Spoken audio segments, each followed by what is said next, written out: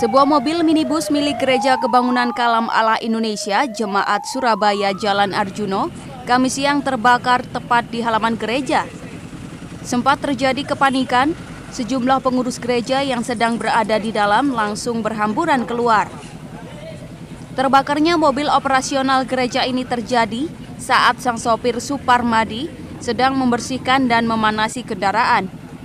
Namun, sesaat mobil setelah ditinggal, tiba-tiba mengeluarkan asap dan langsung terbakar. Rusli, security gereja sempat berusaha memadamkan api dengan menyemprotkan apar, tabung kebakaran, akan tetapi api langsung membesar. Itu dibersihkan. Setiap pagi seperti itu. Kegiatan rutin. Setelah itu ditinggal sama drivernya nggak tahu. Keluar sebentar katanya. Terus 5 menit keluar asap. Saya lihat semua loh semuanya di dalam mobil asap semua. Saya buka semua.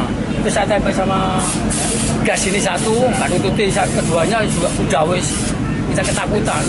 Pak itu awal eh, diketahui asapnya dari mana gitu? dari dalam semuanya kap mobil itu ya, iya kap mobilnya itu Ada aktivitas jamaah tadi Pak? tidak ada Nggak ada ya? Kebetulan ada rapat majelis Oh, rapat majelis. dipimpin majelis langsung pendetanya langsung Api akhirnya berhasil dipadamkan setengah jam kemudian. Setelah satu unit mobil PMK Kota Surabaya dibantu tim motor reaksi cepat tiba di lokasi.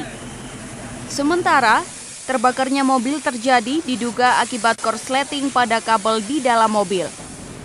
Dari Surabaya, Krisna Fajar melaporkan.